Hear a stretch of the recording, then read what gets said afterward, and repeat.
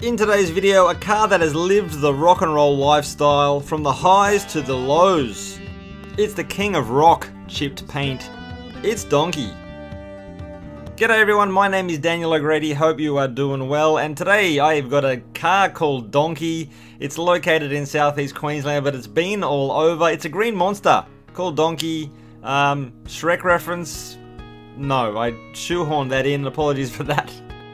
And it was an absolute miracle that I got to see this car. I was returning from a day of Lakeside, Lakeside Racetrack, Southeast Queensland. Off I was to Bunnings for a sausage sizzle, which is just freaking amazing. And I saw an RA40 Celica, there it is, there's a picture of it.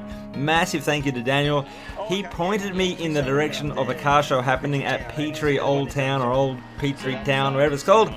And off I went. Yeah, and it turned out to be a great little event. Lots of variety. There were sort of stock standard cars, modified cars, street machines, hot rods. And the first car to really distract me was this HQ SS, and I've talked about my love for these cars previously, so I won't go into it. But I made my way more towards the back of the event, and then I saw it, Donkey. Yep, and as you can see, it's stock as a rock.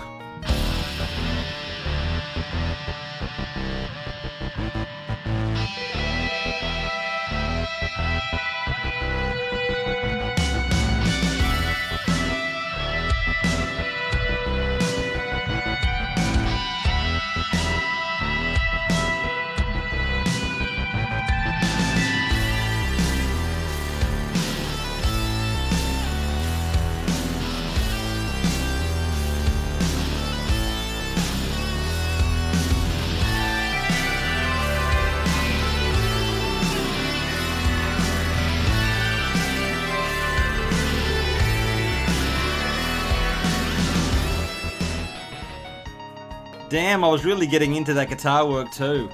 Okay, but now let's test your powers of observation. You will have noticed the boot lid mounted suitcase rack. Interesting addition, super stylish. Also super stylish with the Venetian blinds in the rear window. But did you notice the gas cylinder where the rear seat used to be? I'm hoping that's for a barbecue and nothing Nux Fury Road related. Next, did you notice the screwdriver at the B pillar? Check that out.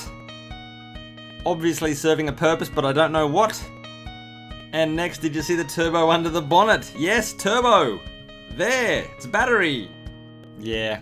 Yeah, look, I'm having a bit of fun at this car, but you know I love it, and I'm not the only one.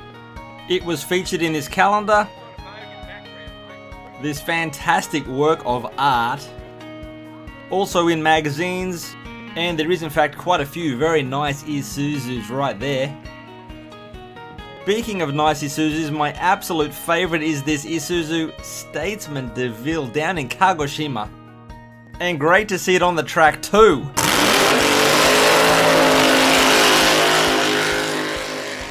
Well, like they say, I'm here for a good time, not a long time. If you haven't subbed already, do so, and if you are new, do check out the website. There are 800 plus videos of classic cars in Japan. Well, and a few from Australia.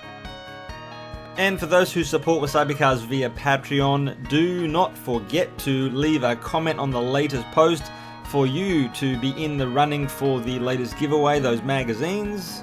And of course, thank you all very much for your support. And all that is left is the question of the day, and I've got a doozy. Actually, it's a really ordinary question, but what did you buy for yourself? Now, you know what I recently bought? A bloody battery bank for my iPhone. It's the simplest thing, but I finally got one. Can you believe that? 2018, September, finally got one. Crazy. What did you buy yourself? And if you are watching on a mobile, swipe swipe, swipe, swipe all the way down the bottom and leave a comment. I would appreciate it greatly. Everyone, thank you so much. Love yous all. See ya.